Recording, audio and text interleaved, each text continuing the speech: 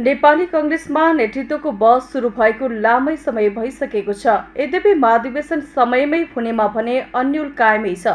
नेतृत्वका लागि रस्साकसी चलिरहँदा सभापति शेरबहादुर देउवाले समयमै महाधिवेशन नगराउनेमा धेरैजसोको एकमत छ।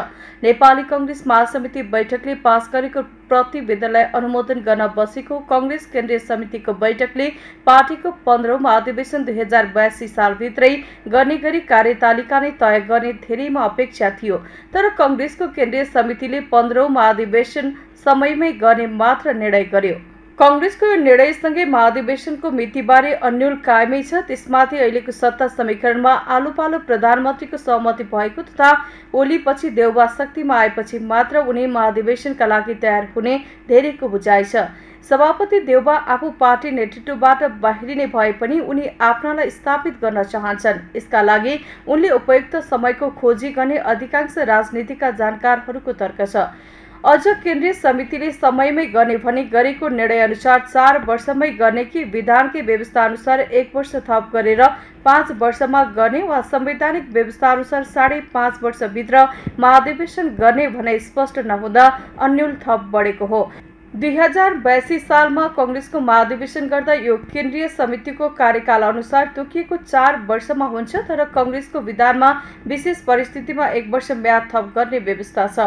यो विधानले तोकेको एक वर्ष थपेर गर्दा पनि समयमै हुन्छ त्यस्तै नेपालको संविधानमा राजनीतिक दलहरूको अधिवेशनमा पाँच पाँच वर्षमा हुनुपर्ने व्यवस्था छ। तर संविधानले विशेष परिस्थितिमा थप छ महिना लम्ब्याउन सक्ने व्यवस्था पनि गरेको छ।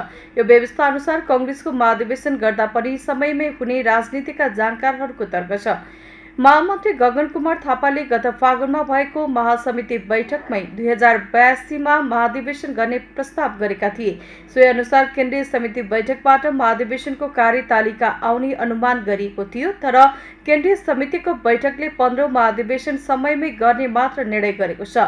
विधानतः पन्ध्रौँ महाधिवेशनमा सभापतिको उम्मेद्वार समेत बन्न नपाउने देउबा त्यसअघि महाधिवेशन गराउन तयार नरहेको कङ्ग्रेसका इतर समूहका नेताहरूको दावी थियो। देउबाको चाहनालाई पार्टीका अन्य पदाधिकारीले पनि मौन समर्थन गर्दा पन्ध्रौँ महाधिवेशनको कार्यतालिका आउन नसकेको नेताहरूको आरोप छ।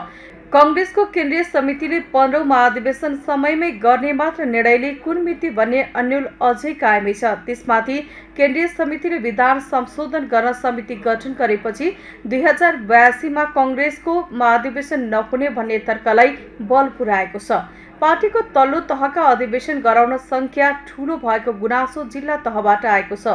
विधान संशोधनका लागि अब प्रक्रिया सुरु गरेर कङ्ग्रेसले दुई हजार बयासीभित्र महाधिवेशन गर्न सम्भव नै नरहेको कतिपयको तर्क छ। देउबा विधान तह पनि नेतृत्वबाट बाहिरिने भएपछि नेतृत्वका लागि फ्लोर ओपन भएको छ।